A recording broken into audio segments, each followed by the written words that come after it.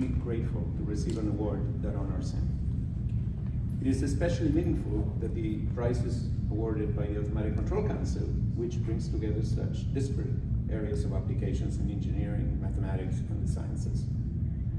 Exactly 50 years ago, as an undergraduate in Buenos Aires looking for a senior project, I discovered the work of Rudolf Kalman, which sparked a stable and robust attraction to control theory that continues to this day. One of my professors met Kalman at a conference, which led to Kalman inviting me to be his student. Kalman's rigorous mathematical approach inspired research excellence, deep thinking, and clear exposition. The 1970s witnessed an explosion of new and exciting ideas in systems theory, and many of the leaders in the field, some of whom are still here, uh, visited Kalman Center. And I was extremely lucky to have the opportunity to learn from all of them. After my PhD, I went to Rutgers, where I was fortunate to collaborate with Hector Sussmann and to learn so much from him. Five years ago, I was recruited by Northeastern University, where I have fantastic colleagues, especially Mario Sznaier and Bahram Shafai. Of course, I am grateful to all who influenced my work, too many to credit here, and to those who applied, enriched, and extended my initial ideas. At the risk of sounding presumptuous, let me share some thoughts about research in systems and control theory. First, it is important to formulate questions that are mathematically elegant and general.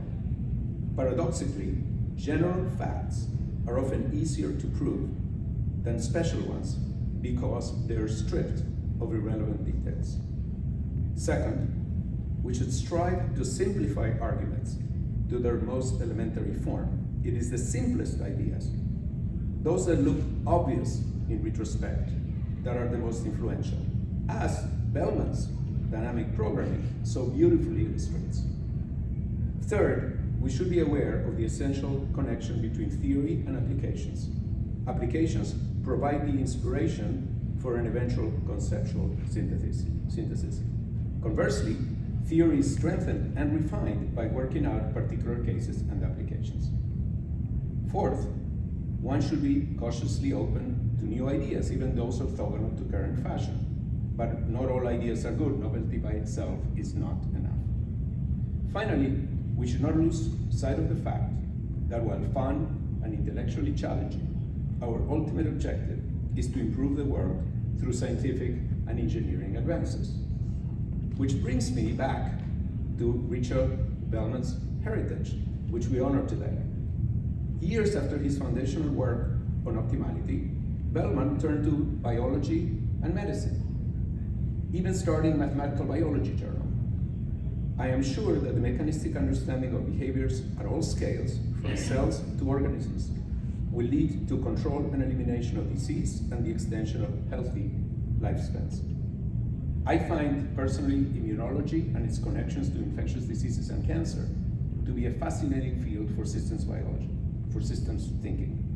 In addition, the associated engineering field of synthetic biology will lead to new therapeutic approaches as well as scientific understanding, and new mathematics and control problems suggest themselves over time.